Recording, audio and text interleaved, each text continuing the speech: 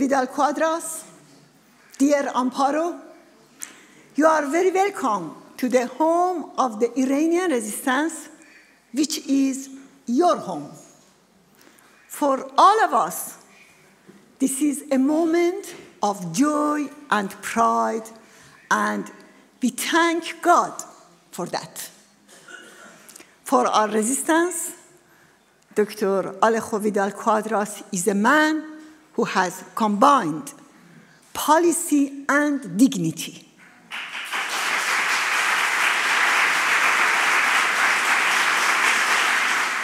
He swam against the tide and is the symbol of a historical protest against the policy of appeasement of the religious fascism ruling Iran. A man that the mullah's regime brutally targeted but failed, and with a great miracle.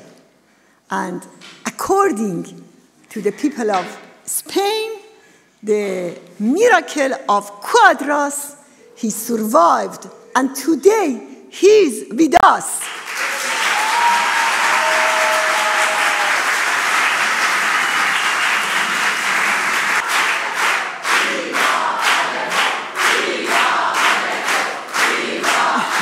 yes, he's a living martyr. Thank you, Mr. Vidal Quadras.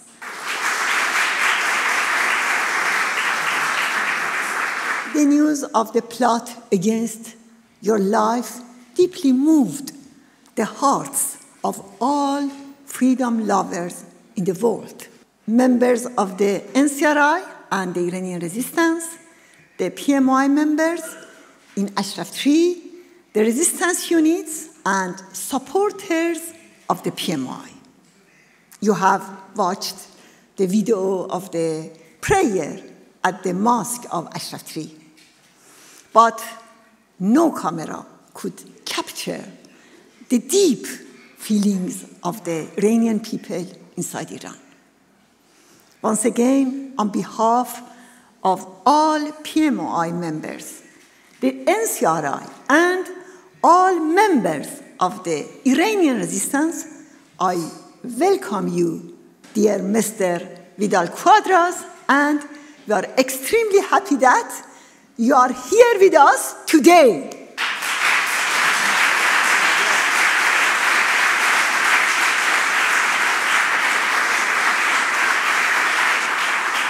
I must also thank another person, my dear Amparo.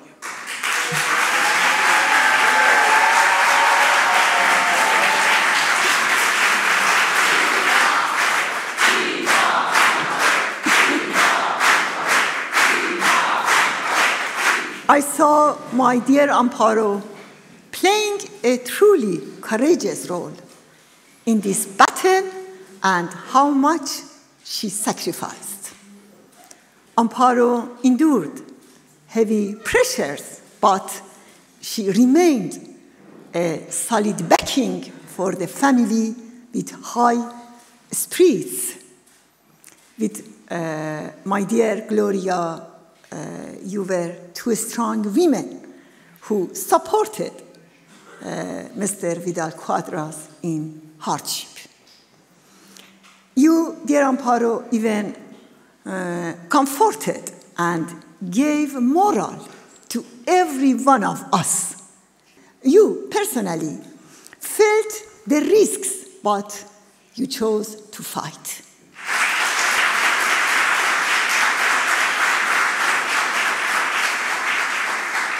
This is the uh, secret of all the heroes who do not see but decide uh, the fate of the struggle.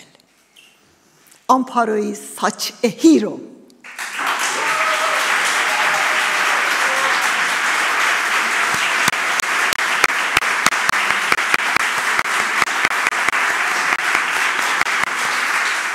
I have seen her relentless support in all campaigns in favor of the Iranian resistance during all these years. Thank you, dear Amparo.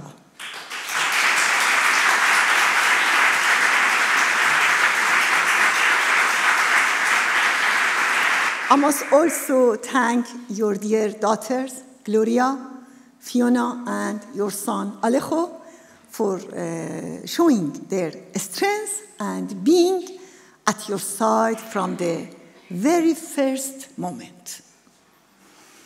Dear friends, from the day Mr. Vidal Quadras knew the Iranian resistance, uh, he was restless during the tough times when Ashraf was under siege.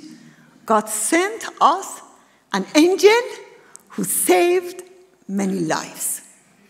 This is why the mullahs uh, placed him and his colleagues, Mr. Stevenson and Mr. Casaca, on their blacklist.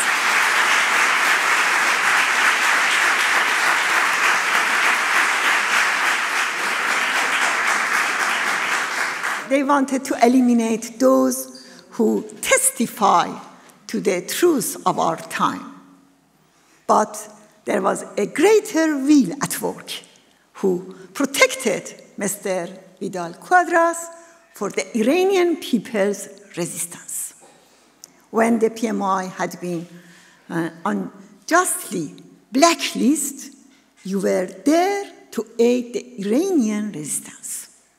Mr. Vidal Quadras took the risk of uh, going to Ashraf in Iraq at a very dangerous times.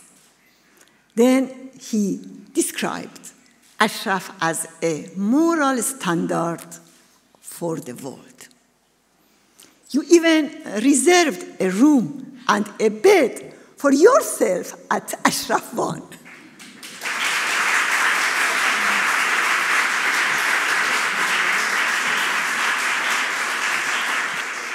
when the PMOI members were being transferred to the um, killing field of Camp Liberty, Mr. Vidal Quadras did everything uh, he could to save their lives. He had a decisive role in their relocation to Ashraf 3. And you and dear Amparo visited uh, PMOI members at Ashraf 3 at the first possible opportunity, and there uh, you declared yourself as a member of this movement.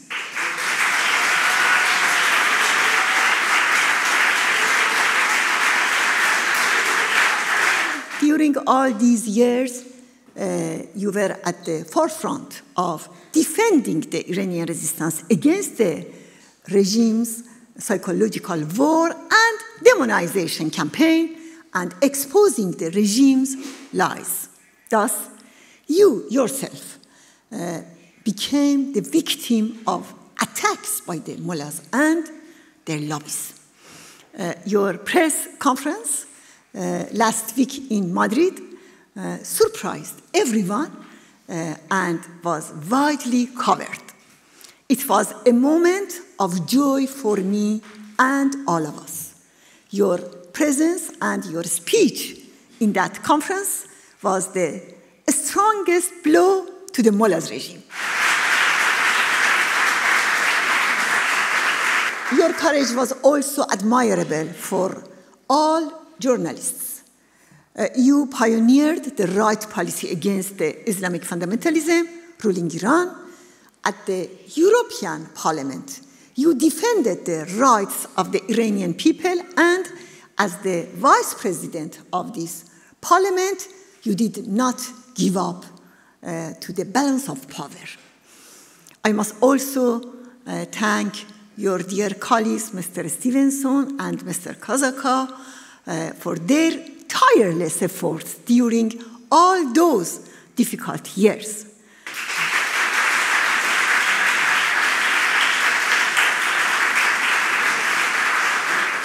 You together led the campaign for the right policy of Iran in the European Parliament and continued it in the Committee in Search of Justice.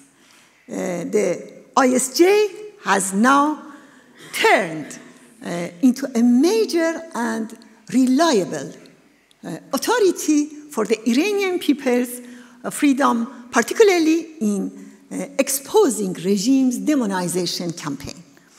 Uh, the mullahs wanted to intimidate us uh, with that attack in Madrid, but in that attack, we saw the end of the mullahs regime. We have no doubt um, that the regime has no future. The future belongs to uh, freedom lovers and those who are ready to pay the price for freedom.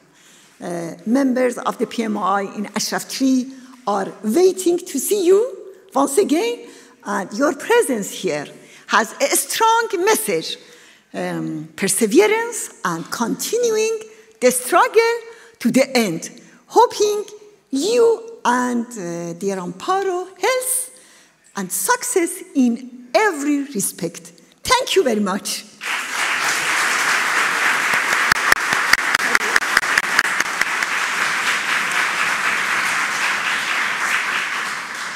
Last Friday, I held a press conference in Madrid.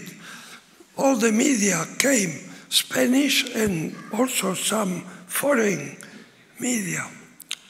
And I seized the occasion because I immediately realized it was a good opportunity to uh, inform the Spanish people and in general the European people about the meaning, about the fight, about the noble cause of the PMOI and the NCRI and the need to change EU policy in relation to the Iranian regime.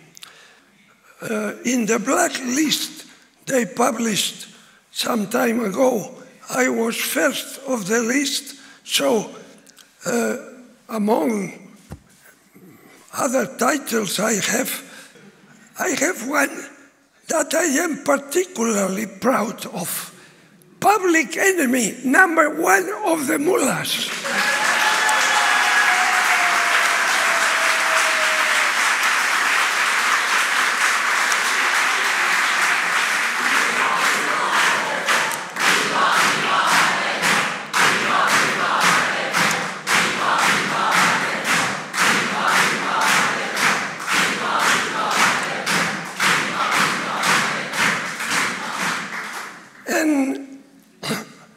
sent them a message.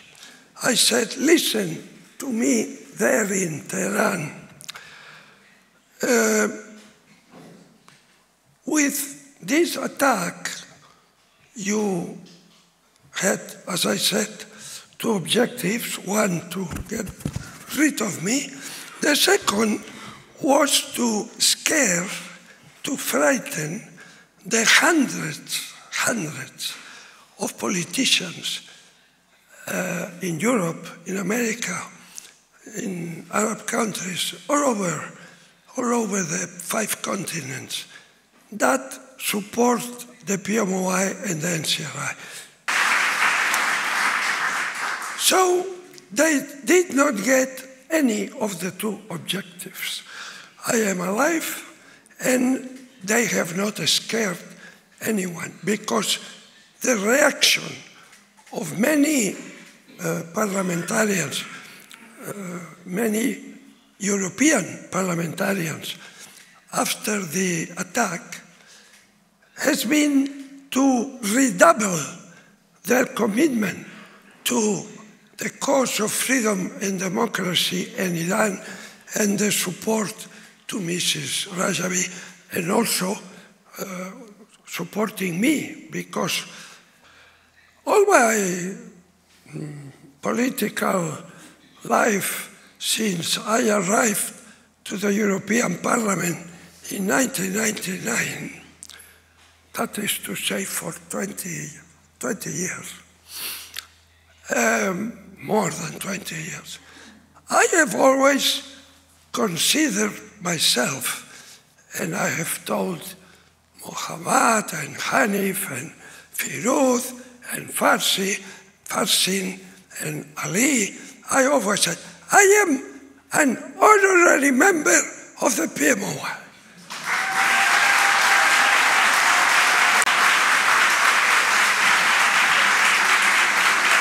Okay, okay. And, and, and they, they were so kind that even that, of course, I have not been born in Iran and I do not speak Farsi and I am not a Shiite, I'm Christian. I, well, they said, okay, okay, you are honorary member. And I was happy. Oh, I am honorary member. But now things have changed. Dear President, of course, not out of my will. But the truth is that my blood has been spilled and has joined the blood of thousands of martyrs of, of and, and since that has happened, I feel I have the right to ask something to our president. Mrs. President, after this attack. I don't want to be an honorary member anymore. I want to be a full member of the PMOI.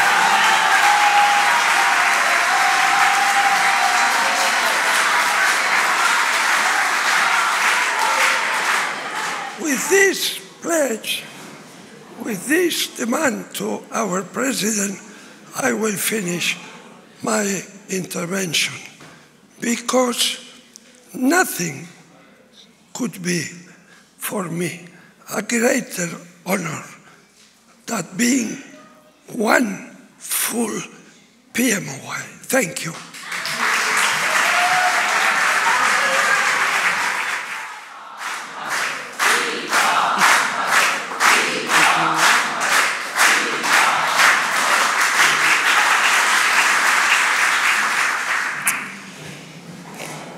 Uh, really, there's few things I can say after Mrs. Rajavi's speech and Alejo's one. Uh, mainly, I would like to thank uh, all the signs of support we've received um, during these months.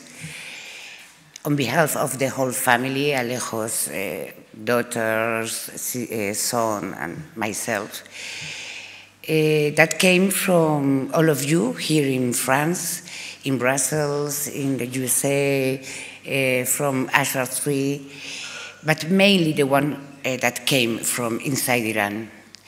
Really, Alejo was, was really uh, moved and comforted to see these people risking their lives inside Iran uh, to hold banners and pictures of him, uh, trying to convey him their support. Really, we appreciate it very much.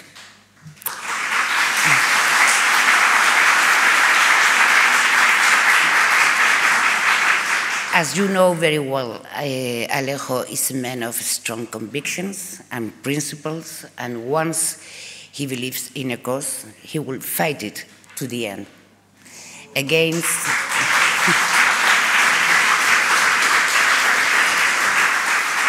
No matter the risk, no matter the, the, the sacrifices, he will follow it to the end.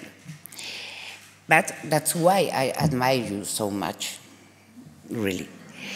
But all this said, the truth is that supporting your cause, supporting uh, the 10 point plan of Mrs. Rajavi is not an option. It's not an option, but a duty to any person in this world who wants the prevailing of human rights, democracy, and uh, freedom in the whole world, not only in Iran. So we don't have a, we don't have a choice.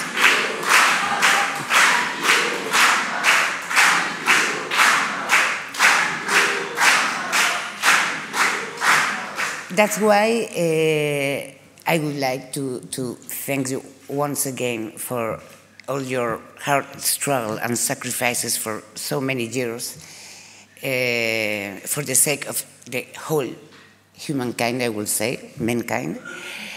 And uh, just tell you that you have the right on your side, and only evil can oppose you and try to defeat you. That's all. Thank you.